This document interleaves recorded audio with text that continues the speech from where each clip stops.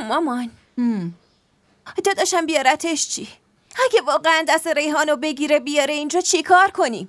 آزاد برای اینکه با ریحان ازدواج کنه باید از رو جنازم رد شه. تا وقتی که من زندم زمینم به آسمون برسه اونا ازدواج نمی‌کنن. میگی نه نگاه کن. ایشالا خندان خانم. گرچه حرف دیگه برو نداره ولی امیدوارم بتونی مانعشون بشی.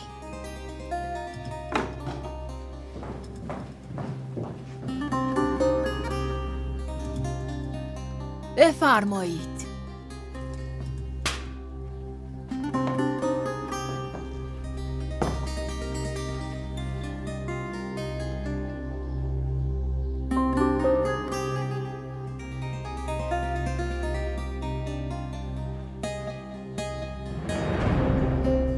حنیفه جریان چیه؟ این راحتی برای چیه؟ داری چی کار می‌کنی؟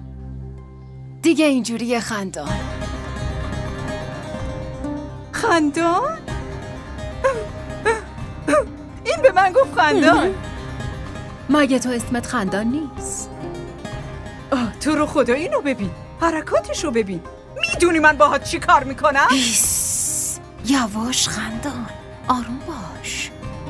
حنیفه عقلتو از دست دادی؟ مگه می‌خوای اخراج بشی؟ چی می‌خوای ها؟ اگه من از این امارت برم شما دوتا هم با من میان. چی داری میگی؟ میگم غلطی که این دختر کرده رو میگم به آقا ناسوح میگم که می‌دونسته می‌خوان با شادقلوها چی کار کنن ولی سکوت کرده کی حرف تو رو باور می‌کنه؟ بعدم تو این مزخرفاتو از کجا در میاری؟ تهمت نزن همچین چیزی نیست خب امتحانش مجانیه بیا بریم ببینیم حرف کیو باور می‌کنن اگه به آقا ناسوح بگم که نوه عزیزتر از جونش اسم و رسم شادقلوها رو با خاک یکسان کرده.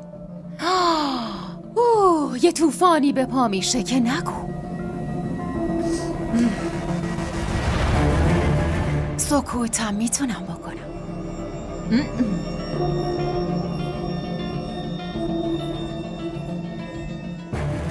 ولی به یه شرط.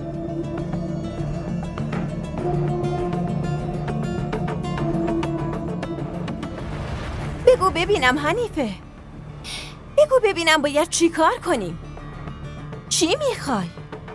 پول می‌خوای یا زمین می‌خوای؟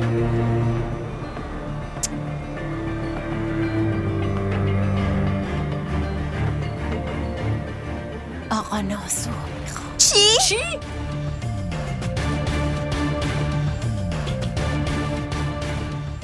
برام آقا ناسو جور کنیم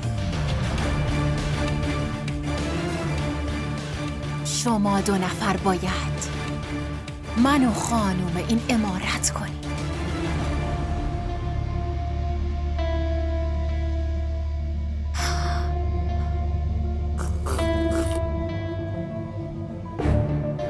بگیرش عزیزم. بذارش اونجا. قهوه شما سرد شد. بخوریم.